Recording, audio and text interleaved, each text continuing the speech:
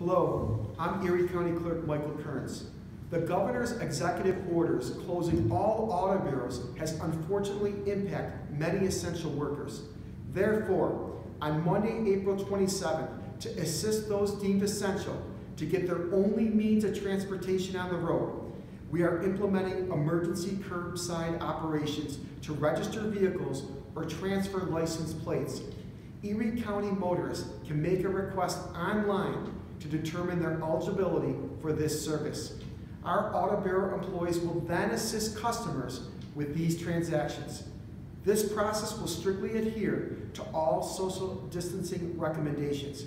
We ask only those deemed essential to go to erie.gov slash clerk emergency ops and complete the request online. Thank you.